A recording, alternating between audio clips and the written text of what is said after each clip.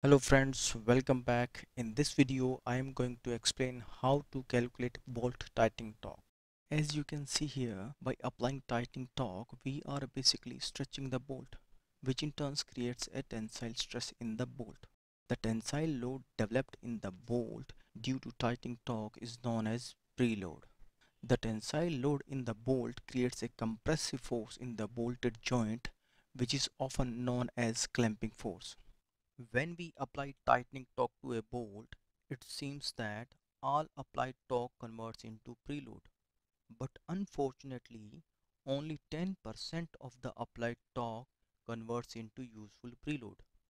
And about 50% of the applied torque is used to counter frictional resistance between nut and the washer or we can say nut and the joint and the remaining 40% of the applied torque is used to counter frictional resistance between threads of nut and bolt.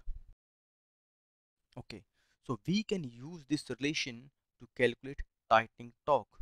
Here, symbol F is required preload in newtons and D is the nominal diameter in mm and K is the nut factor and it is a unitless number.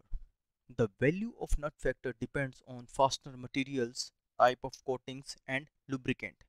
You can use this table to select appropriate nut factor. As you can see here, for mild steel or alloy steel bolts, mean value of nut factor is 0.2.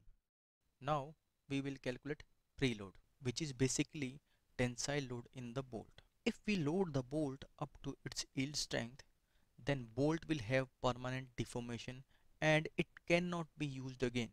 So in case of fasteners, we define a term proof strength or proof load. Proof strength can be defined as the maximum tensile stress that can be applied to a bolt which will not result in plastic deformation. In other words, the material must remain in its elastic region when loaded up to its proof strength proof strength is typically between 85 to 95% of its yield strength. In case of non-permanent bolted joint, where we want to reuse bolts, in such applications, bolt should be loaded up to 75% of its proof strength. This is to avoid permanent deformation in bolts.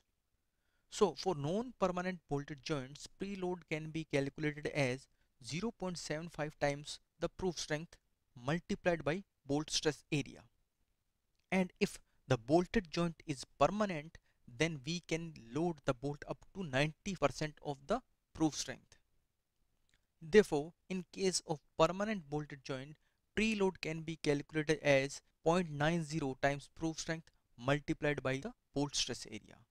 The bolt stress area can be calculated using this relation. Here, P is the bolt pitch in mm and D is the bolt nominal diameter in mm.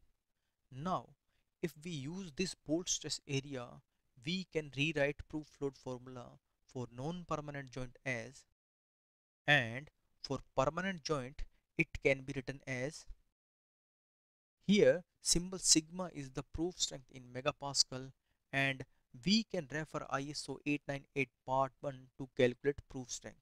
Let's take an example of M16 class 4.8 bolt.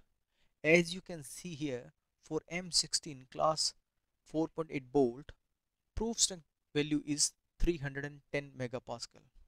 Here symbol P is the thread pitch. As you can see here, for M16 bolt, thread pitch is 2 mm and D is the bolt nominal diameter and it is 16 mm for M16 bolt. After putting all these values, we can calculate bolt preload. Now, we have found all these variables required to calculate bolt tightening torque.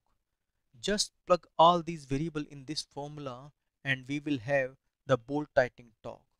If you like this video, give us thumbs up and subscribe my channel. Thank you.